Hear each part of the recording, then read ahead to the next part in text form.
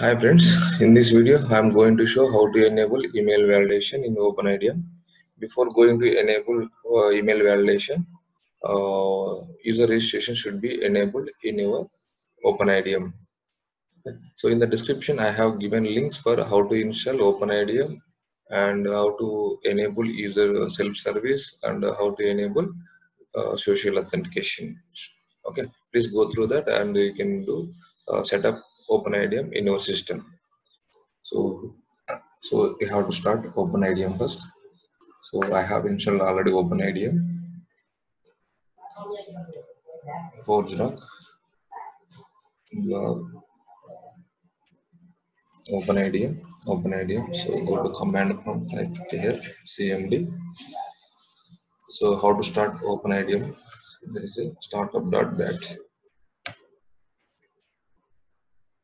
So one pop-up window will be opened. That is that is calling as a OS OSGI console. It will take few minutes to start the OpenIDM.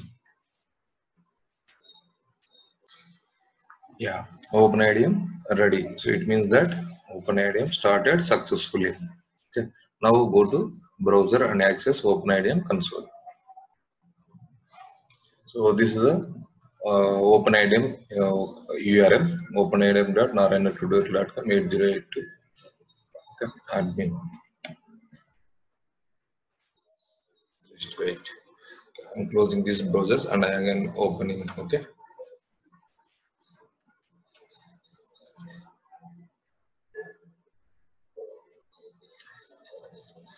Open.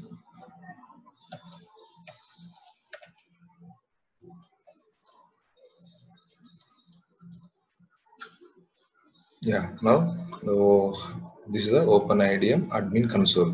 So enter the username and password.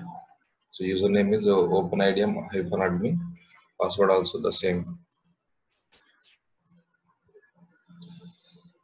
Yeah, go to configure. There is a email setting.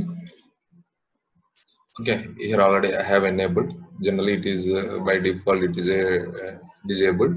So you have to click on en enable so here they have given smtp.mailtrap.org. So here we have to give SMTP server details. So which SMTP server details we have to give? Okay. So here we can uh, get the fake SMTP server details. That is one of the best and useful website. That is a mailtrap.io.com. Sorry, mailtrap.io so here you have to uh, sign up okay? It's the free of cost for demo purpose or any practice purpose? Okay. so i have already signed up with the google account okay? So after sign up you will get one demo inbox okay? So click on the demo inbox. So here you will get the smtp server details. So you have to give these details into openidm see here i have given smtp.mailtrap.io and 465 and this is the you can give any email id okay so you can give like narayana.tutorial.com whatever it is. And i have given the target timeout so like a zero which means that disabled.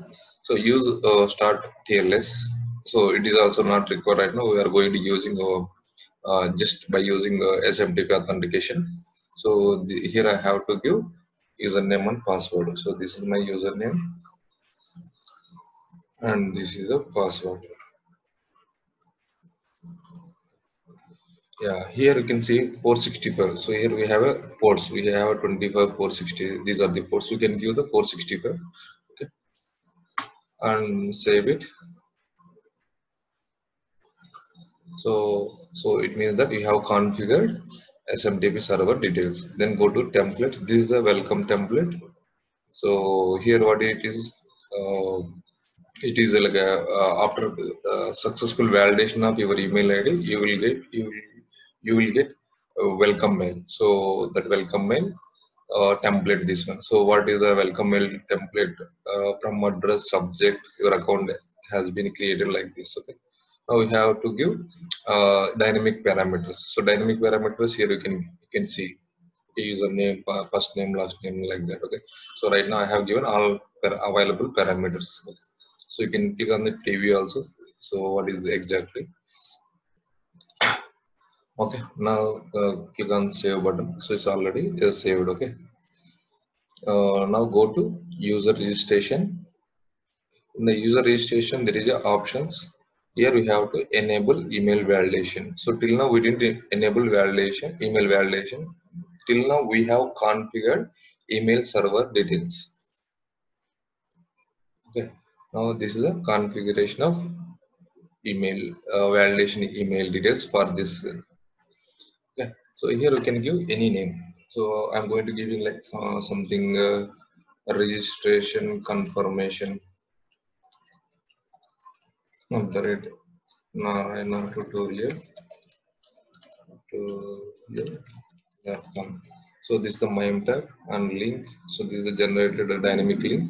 So the uh, this is our registration URL and uh, and this is the mail message. So this is the this is the subject. Register new account.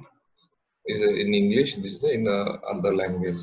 The same way you have a mail message, email message also. Okay. This is the english and this is another french like that. And click on save. So now we have configured email smtp server details and enabled email validation. Okay. Now go to sign out this one log out of admin admin user. So what is the self-service portal? Like a, without entering anything you have to just hit the enter button. So it will by default it will go to the self-service portal. So here we have a create an account. Test one two three. Test one two three. First name. F name or something i'm giving like this. Test one two three l name. Test one two three at the rate uh, example.com or anything you can give. So you can give password admin okay? So click on sign up. So an email has been sent to the address you entered. Click the link in the mail to proceed. So go to the mail Mailtrap email server. Here you can say register new account. Register new account this is the from address we have given. This is the customer you, customer email id so click on this link.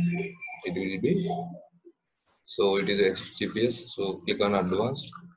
Accept and this. Yeah see. The email uh, validation completed and user logged into the profile profile page. This is the first name last name so now you can see here welcome email also we have got it. Your account has been created.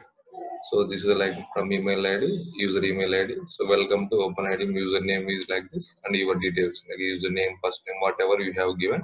So those details we have received. This is the welcome mail.